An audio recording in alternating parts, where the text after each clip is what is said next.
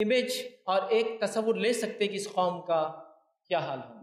چونکہ ایک نوجوانوں کی جماعت اور گروہ انسانیت نے دیکھا ہے، جن کو صحابہ کہتے ہیں، جن کے اخلاق کو دیکھ کر بھی لوگ متاثر ہوئے۔ جن کے اخلاق کو دیکھ کر بھی انہوں نے حق کو قبول کیا ہے۔ جن کو اخلاق کو دیکھ کر انہوں نے سچ کی دعوت کو ایکسیپٹ کر لیا کہ یہ وہ لوگ اخلاق والے چھوٹا سا ایک واقعہ دیتا ہوں۔ ایک یہودی تجارت کرتا تھا ایک مارکیٹ میں جہاں صحابہ کی بھی دکان تھی۔ ہماری بھی ہوتی ہے دکان۔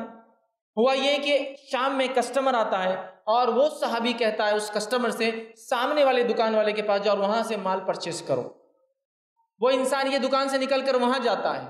یہ یہودی جس کی دکان میں یہ کسٹمر اس دکان سے آتا ہے، وہ جانتا ہے کہ یہ کسٹمر پہلے اس دکان پہ گیا تھا۔ چونکہ جنرلی بزنس مین میں ایسی ہوڑ ہوتی ہے کمپٹیشن ہوتا ہے کہ کہاں جا رہا ہے کسٹمر کیا، کس کے پاس جاتے ہیں۔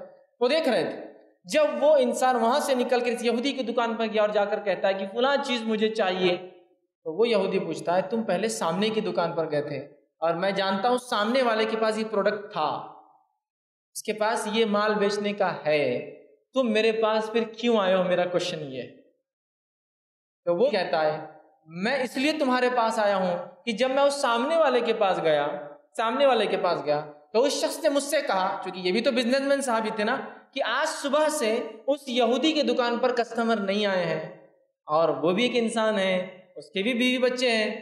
لہٰذا میں صبح سے دیکھ رہا تھا کوئی کسٹمر اس کی دکان پہ نہیں آیا۔ میں تم کو اس لیے کہہ رہا ہوں اس سے لے لو تاکہ اس کا بھی کچھ بزنس ہو جائے۔ اب ایسے اخلاق سے میں کہتا ہوں، کون جو ہے آپ سے مانوس نہیں ہوں گا اور کون آپ پر جو ہے، جس کو ہم کہیں گے، جو ہے اپنے آپ کو قربان نہیں کریں گا۔ ایسے اخلاق۔ تو ایک زمانہ وہ بھی تھا، ایسے نوجوان، ایسے لوگ انسانیت نے دیکھے جن کے یہ اخلاق تھے۔ اور ایک زمانہ وہ ہے کہ نبی اکرم صلی اللہ علیہ وسلم کی اللہ گواہی دے رہا ہے کہ نبی اکرم صلی اللہ علیہ وسلم اخلاق کے سب سے بلند مرتبہ فائز ہے اور قوم کا حال یہ ہے کہ قوم اپنی حرکتوں سے امت کو بدنام کر رہی ہے۔ پوری امت مسلمہ بدنام ہو رہی ہے اس لیے کہ ہماری اخلاق عادتیں نہیں اچھی ہم میں۔